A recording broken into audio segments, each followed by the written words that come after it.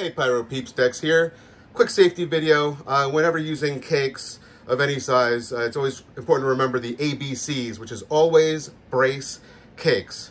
So typically with a cake like this, uh, ideally you should have something on all four sides, like bricks, something heavy to brace it. Uh, you could also tape it to other cakes to help brace the footprint.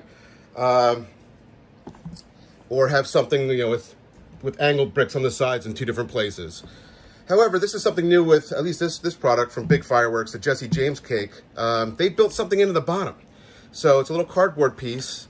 You flap out these wings and it essentially, you know, doubles doubles the area on the bottom. So that gives a much larger footprint. Um, but there's a couple things with this. This might be a, a false sense of security, really. Uh, number one is I don't see it anywhere that's super clear, um, other than this little warning here. That's a sticker that was put on after the fact to open up the bottom um, and put it flat. But uh, one thing is like this, I just put it back down. Maybe all the sides aren't out and it could kick. Even if all the sides are out, I would still recommend putting bricks on it. Uh, you know, it's, it's neat. It's, it's interesting. If every cake did it and people knew to do it, it might be interesting. But here's the other problem. Here's the same cake.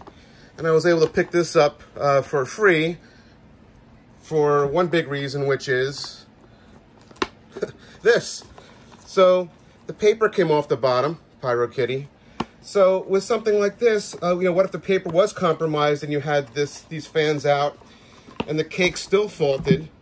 And at this point, you know, boom, it tip right over. So um, I think in the future, if they were to use a wood base on the bottom and then attach uh, this cardboard piece. I know it would add some expense. That may be better. Uh, but again, people would have to remember to open it and make sure all four corners are out. And even then, there's, you know, it's, it's a lot less of a chance it's going to tip. This actually looks really promising.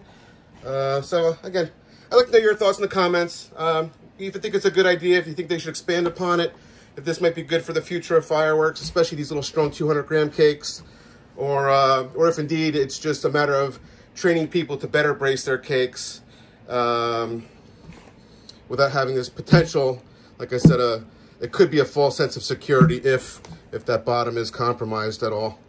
All right, let me know what you think, and uh, thanks for watching. Have a safe 4th of July, everybody. Peace. Ciao for now.